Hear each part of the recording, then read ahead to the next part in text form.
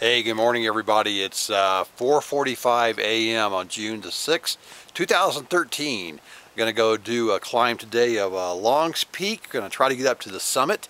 Um, right now at the trailhead at uh, 9,405 feet on a beautiful, beautiful Thursday morning. Uh, absolutely no wind and perfectly clear sky. So let's go see how the day gets going. All right, let's go. Approaching the tree line area, but you can really see the transition between spring and summer. Only a few weeks away. The sun's rising. Still got snow up here, but also you can see the, uh, the snow melt. Absolutely perfect day so far. Okay, now just above tree line, and the sun is coming up just above Twin Sisters. And again, perfect morning. Okay, I'm at the uh, junction between going to the loft route and the uh, boulder field, the keyhole route. I'm going to take the keyhole today. And so you can see the loft right there. The uh, saddle and Longs on the right. There is the diamond of Longs Peak in the north face, the white covered uh, face you see on the right hand side. That's Mount Lady Washington right here in front of us. And I'm going over here to the right of Mount Lady Washington. Okay, gone about uh, four miles and there's another three miles to go up to the summit of Longs Peak. Well, I'm at the boulder field and so you can tell it's um, pretty snowy. This is the uh, north face of Longs Peak. It used to be called the Cables Route because there was a steel cable that went up to the top of it, but when Rocky Mountain National Park became a wilderness area, they removed the cable also, there was a rumor that it uh, attracted lightning, which is probably not a good thing. Um, over here to the right, that's the keyhole. And that's the route that I'm going up, hence the name Keyhole Route. And that's the boulder field. Actually, I'm in the boulder field right now. As you can tell, it's uh, quite snow covered, which is going to make it infinitely easier to cross.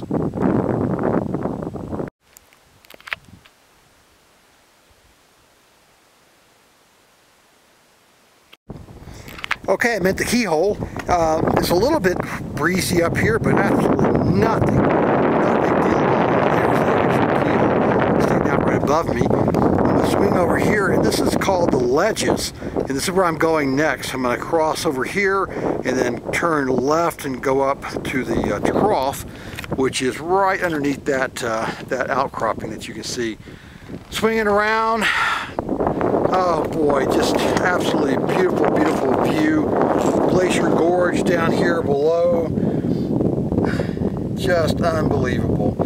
Perfect day as you can see. Blue skies, just absolutely great. Okay, gonna swing back around, get one more look at the boulder field, and then I am off. Making good time, about four hours up here. Well, I'm just about in the middle of the uh, ledges. You can see it's uh, very snow covered, but looks like some people have been up here. There's some nice tracks to follow. But, you know, you wouldn't want to fall here. It kind of goes down a little steep, down to Glacier Gorge. And this is where I just came from. Um, actually climbed up and around to the uh, left of that outcropping. Okay, onto the trough. So this is a trough on Longs Peak. You can see it's really snow-packed, and that which is going to make the climbing much, much easier than uh, going on the rocks. At the top is a feature called a chockstone, which you have to kind of climb over. A little bit of a scramble, gives some people some problems. Swinging back around, um, this is where I just came from. This is the ledges, and you can see a little bit of a track going through there where I just crossed and utilized other people's tracks, which made it a lot easier. Okay, now time for the trough. Well, I'm about halfway up the trough now, making really good time. I've got crampons and an ice axe, and I'm glad I do, because this is pretty steep, and you wouldn't want to fall.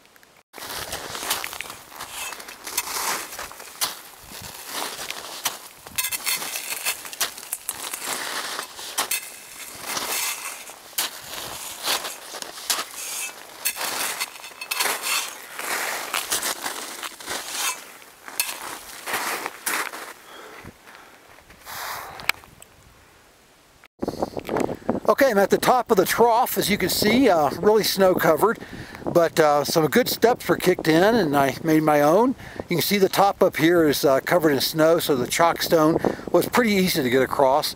Down below is uh, Glacier Gorge, absolutely beautiful today on this uh, Thursday, June 6, uh, 2013. Just a beautiful day in the Rocky Mountains here. Okay, so the next feature that I have to go across is called the Narrows. And there's a reason it's called the Narrows. It's very narrow. As you can see, that's what I'm going to walk across right there. You can see the bullseye what the National Park Service has uh, put in to mark the route. But it's pretty obvious. You just kind of follow the very narrow path and you don't want to fall here. Okay, so I'll check back in about halfway through the Narrows. Well, I'm about halfway through the uh, Narrows at this point. It's really crazy. I mean, that's where I would fall. It would not be a pretty sight. That's where I just came through right there. Having to be very, very careful coming through here. Using the uh, plunge with my ice axe in my left hand, my uphill hand, to uh, protect me if I should slip or the snow should give away and getting good purchase with my crampons. Across the Narrows now, as you can see, it's really snow-packed. Um, you know, in some ways it makes it easier, but obviously it's much more dangerous because you're walking on snow and ice. Um, it could give away at any moment. So I'm glad to be across that section. Okay, next up is called the home stretch and then the summit. Well, here's the home stretch.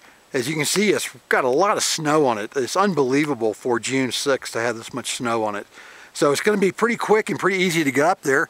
You know, obviously you don't want to slip because um, it does go down and has a lot of exposure. If you were not able to self-arrest, then you would plunge right over into Keplinger Couloir over here. That's called the Palisades, and that's Mount Meeker, the peak on the uh, far left, upper left corner of the screen right now. And this is uh, just some more beautiful views. Okay, now I'm heading up the home stretch. Well, here I am on the uh, summit of Longs Peak. Got up here in about five and a half hours. Uh, yeah, it was really a good climb. The uh, snow was uh, pretty pretty firm, pretty crusty in a lot of good places. So I'm um, gonna stay up here for a little while, enjoy the view. Uh, it's about oh, it's about 10:30 or so, 10:15, and so I have plenty of time. The weather looks great and then I gotta decide which way to go back down. Either the same way I came down, came up the uh, keyhole, or I may go down the uh, the loft route. I'm kind of leaning towards that because that's a lot of fun to go that way. Okay, climb on. This is Alan, and remember, memories are everything.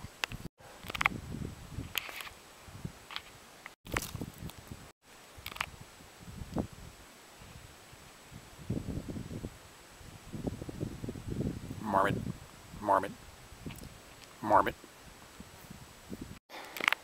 Well, here's the uh, top of the home stretch. I'm going to be leaving the summit now and say goodbye to the marmot. Um, this is pretty snowy. It was easy coming up, and I expect the same going down.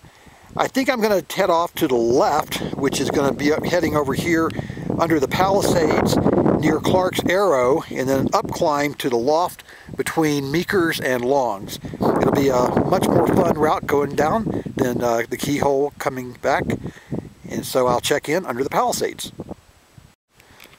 Well, here I am. That's the Palisades, um, and I'm heading down this route right here. It's a little steep, um, a little snowy, so I got to be really careful because if I do fall, I go really far. This is one of the uh, steeper and icier sections that I've been down. Uh, again, this is uh, going down underneath the Palisades, down towards Clark's Arrow in uh, Keplinger Couloir. Well, that's the uh, home stretch up there, and that's why I just down climbed down here through uh, Keplinger's Couloir, along through here, and lo and behold, this is Clark's Arrow. It was uh, an arrow painted by Ranger, I think his name is John Clark, in the 1930s, and he did it with white paint. Amazing here, what whatever, 80, 90 years later, that is still, you can still see it. And what he painted it for was to mark that this is the way that you climb up to get to the loft, and that's what I'm about to do. And that's the gully. Um, you know, it's probably It's probably class four, but with crampons, it kind of makes it a little bit more difficult. Uh, I could take my crampons off, but I couldn't be bothered. So this is the top of the gully. A little bit of snow up here, and that's where I'm gonna go. And next stop is the loft between Meekers and Longs. So this is the loft. Uh, that's Mount Meeker right there. That's a uh, named 13,000 foot mountain. Um, the loft is just a uh, saddle between Meeker and what's also called a South.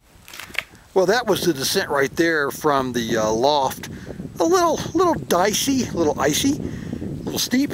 And so now, this is where I'm going to go to catch the uh, the loft proper. And I'll give a better picture here in a minute, but that's the route down.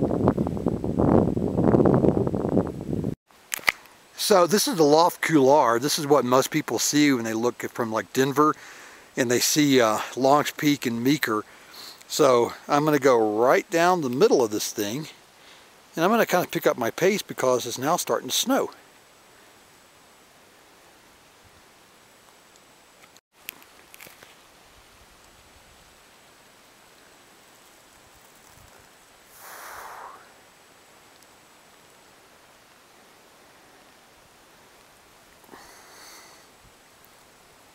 and that's the Loft Couloir.